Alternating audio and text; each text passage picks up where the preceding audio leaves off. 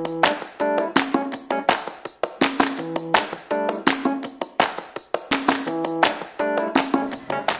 friends welcome to Nirmala's kitchen आज हम बनाएँगे रवा ढोकला। ये रवा ढोकला इंस्टेंट हो जाता है और बहुत ही टेस्टी बनता है। मैंने लिया है दो कप रवा। ये माप से लिया है। आपको जितना चाहिए आप ले सकते हैं।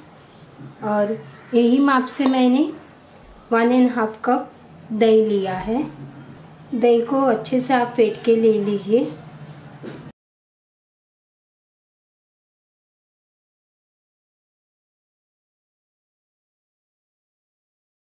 दही। अब हम उसमें अदरक, हरी मिर्च, लहसुन की पेस्ट डालेंगे। लहसुन डालने से बहुत ही टेस्ट अच्छा आता है। अगर आप लहसुन नहीं खाते हैं तो स्किप कीजिएगा। पर लहसुन अगर आप खाते हैं तो ज़रूर डालिए। मिर्ची बहुत तीखी वाली ली है मैंने तो मैं उतना मैं डाल रही हूँ। और ये ढोकला ज़्यादा तीखा नहीं होता है। मीडियम तीखा करना है हमें। शक्कर लिए है मैंने दो टेबल स्पून शक्कर डिपेंड्स आपका दही दही हमें मीडियम खट्टा लेना है। अगर ज़्यादा खट्टा रहेगा तो उस हिसाब से आप ज़्यादा कम शक्कर कर सकते हैं।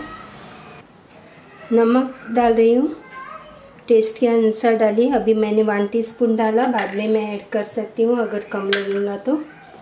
अभी हमें हाथों से मिक्स करना है।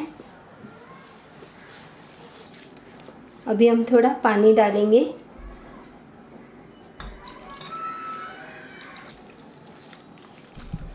इस बैटर को हमें ज़्यादा पतला नहीं करना है। गाठे नहीं होनी चाहिए। मैंने टू टीस्पून नमक डाला है। पहले एक टीस्पून डाला था वापस मैंने वन टीस्पून ऐड किया है। अब हम इसको रेस्ट के लिए रखेंगे, तब तक हम पानी गर्म करने के लिए रख देंगे।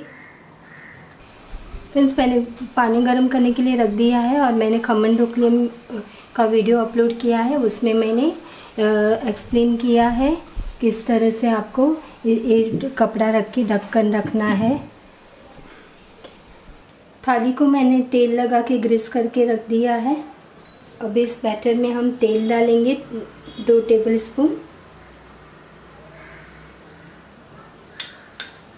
और थ्री स्पून हम इनो डालेंगे।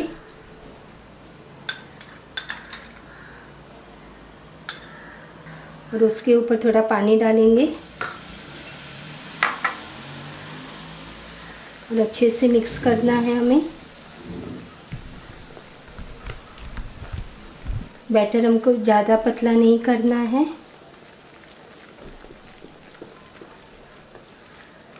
मैंने इसमें नींबू डाला है, बर्तन काला ना हो जाए इसके लिए, और काठा रखा है, उसके ऊपर हम थाली रख देंगे।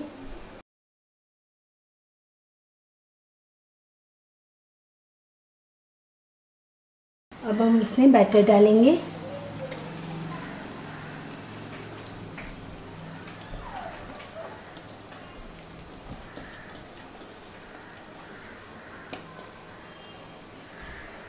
गैस फास्ट करना है हमें। और 20 मिनट्स के लिए हमें पकाना है। फ्रेंड्स, मैंने ढोकले की थाली को 10 मिनट हो गए, निकाल के रखा था। ढोकला ठंडा हो गया है। अब हम उसमें पीसेस करेंगे।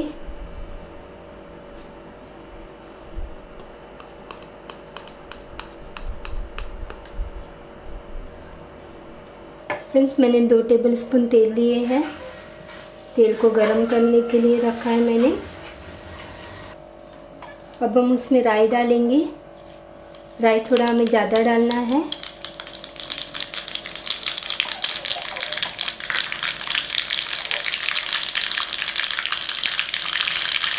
इस तरह से मैंने कट लगाया है मिर्ची को।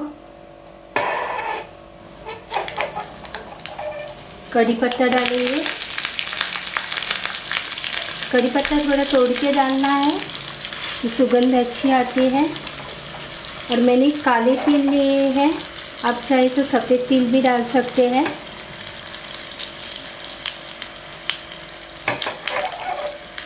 अब हम गैस बंद करेंगे। अब हम ढोकले पर डालेंगे।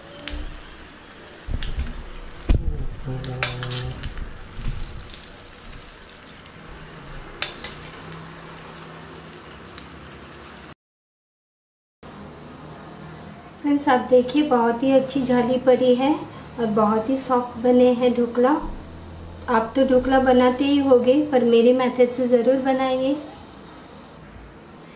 तो आप, अगर आपको मेरा वीडियो पसंद आए तो लाइक कीजिए, शेयर कीजिए और कमेंट देना ना भूलिए friends. Thank you for watching my video